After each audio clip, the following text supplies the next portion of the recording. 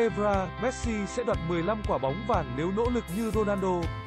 Chứng kiến PSG bị loại ở Champions League cựu hậu vệ Patrice Evra cho rằng Lionel Messi không nỗ lực trong tập luyện như Cristiano Ronaldo.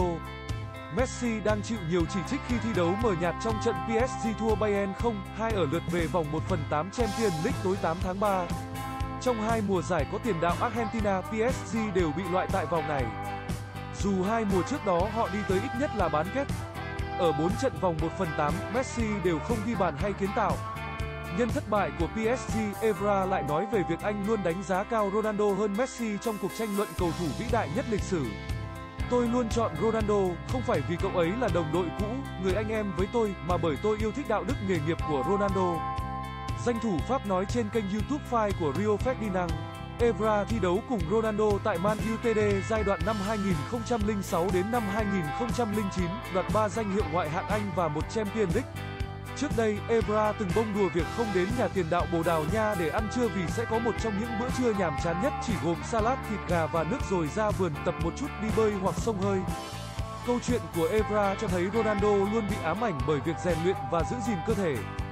Ronaldo và Messi đã so kè nhau từng bàn thắng kỷ lục danh hiệu cá nhân và tập thể từ hơn 10 năm qua. Họ thay nhau thống trị quả bóng vàng từ năm 2008 đến khi Luka Modric về nhất trong cuộc bầu chọn của tạp chí France Football năm 2018. Sau đó, Messi đoạt quả bóng vàng 2019, 2021 và trở thành cầu thủ đầu tiên 7 lần giành giải thưởng cá nhân cao quý này. Theo Evra, Messi được ban tài năng thiên bẩm, trong khi Ronaldo phải nỗ lực để đạt đến vị thế hiện tại. Nếu có đạo đức làm việc như Ronaldo, Messi có lẽ đã đoạt 15 quả bóng vàng. Tôi yêu những người làm việc chăm chỉ nên đó là lý do tại sao tôi chọn Ronaldo thay vì Messi, cựu hậu vệ 41 tuổi nói thêm. Với 709 bàn, Ronaldo hiện giữ kỷ lục ghi nhiều bàn cấp câu lạc bộ hơn Messi 701. Tuy nhiên, tiền đạo 38 tuổi thi đấu nhiều hơn Messi hai mùa giải và đang khoác áo câu lạc bộ Saudi Arabia Al Nassr. Trong khi đó, Messi đang dẫn đầu cuộc đua về số pha kiến tạo với 299 đường truyền so với 203 của Ronaldo. Mùa này, ngôi sao Argentina đã có 16 kiến tạo so với 4 của Ronaldo.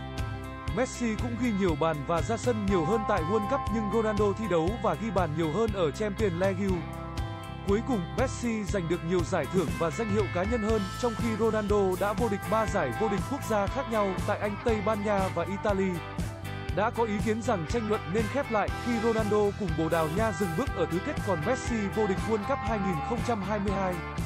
Trong đó, Messi ghi 7 bàn, gồm cú đúp trong trận chung kết và được FIFA trao quả bóng vàng World Cup phần thưởng cho cầu thủ hay nhất giải đấu tại Qatar 2022 và 5 lần giành giải cầu thủ hay nhất trận. Các bạn hãy đăng ký kênh để cập nhật thông tin miễn phí mới nhất.